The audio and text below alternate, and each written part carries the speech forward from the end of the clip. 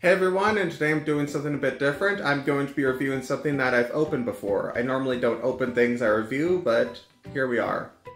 Now, this thing I've had for about two months now, and it's actually a really good puppet. It's the Jurassic World Baby Dinosaur puppet, and it's the T-Rex one, not the blue one, or whatever Blue's baby is called in the movie. I, I didn't watch D Dominion.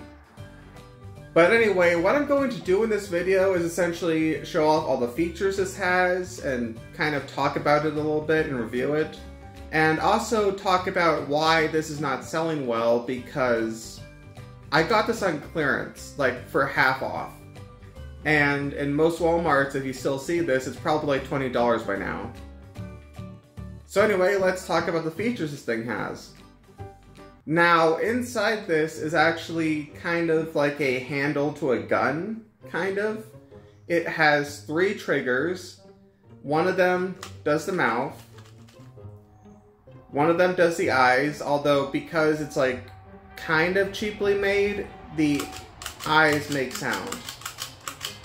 Because the plastic is hitting plastic. So it kind of sounds like he's taking a picture of you. Smile! And there's also a trigger right here that your thumb is supposed to hit. And all it does is this. I, I, I don't know why why that's a thing. It, it just makes the head go up and down. Now, there is a battery pack on the inside here to make it make noise, but I never put batteries into it. So I don't know what the noise quality is like for this thing, but honestly, you don't really need noise for this thing. It's fine on its own. If I was a bear ventriloquist, this would look really cool right now.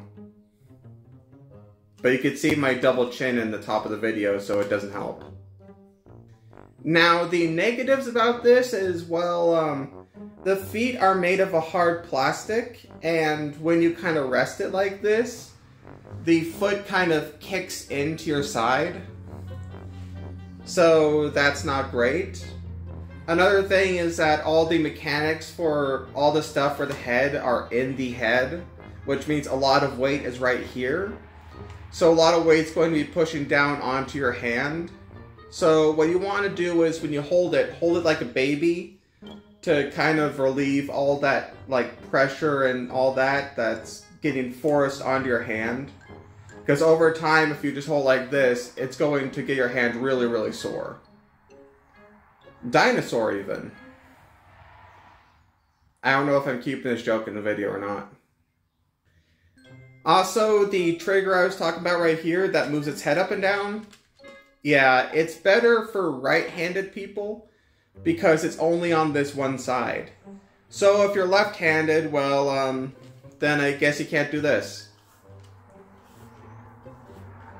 Now let's talk about why this toy isn't doing so well.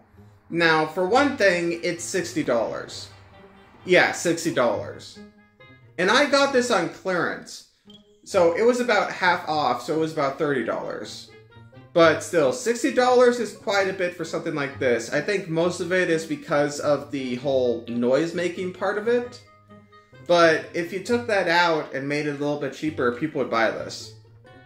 Another reason I think this like failed is because when it's in the packaging, you don't really see the glove, and most people just look at it like first glance and assume it's like a big like dinosaur toy, like all the other Jurassic Park toys that they have in the toy aisle. So that might also be why people aren't buying this because they don't know it's a puppet. I've actually like taken this to like um, county fairs and stuff, and people absolutely love this and ask where I get it, and I say at Walmart, and they didn't even know this was being sold at Walmart. So yeah, I think the big issue with this is that basically no one knows this is a puppet, and it's too expensive. Though lately you could probably get this on clearance for like 20 bucks.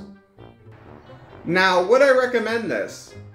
Yes, this is actually a very cheap alternative to a dinosaur puppet. I mean, a dinosaur puppet like this would probably cost you like thousands of dollars, and it'll just be made of foam. So, yeah.